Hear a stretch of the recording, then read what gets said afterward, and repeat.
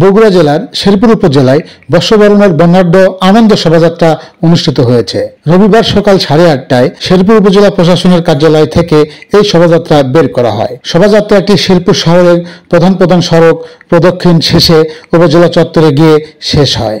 এতে শিল্পী উপজেলার নির্বাহী অফিসার মোহাম্মদ সুমন জিহাদি, ভারপ্রাপ্ত উপজেলা চেয়ারম্যান আলহাজ শাহজামাল সিরাজি, উপজেলা আওয়ামী লীগের সভাপতি অ্যাডভোকেট আলহাজ গোলাম ফারুক সহ সভাপতি আলহাজ মুন্সি সাইফুল বাড়ি ডাব্লু, সাধারণ সম্পাদক সুলতান মাহমুদ সহ উপজেলা পরিষদের সকল দপ্তরের কর্মকর্তা কর্মচারীবৃন্দ, শিক্ষক ও বিভিন্ন স্কুলের শিক্ষার্থীরা উপস্থিত ছিলেন।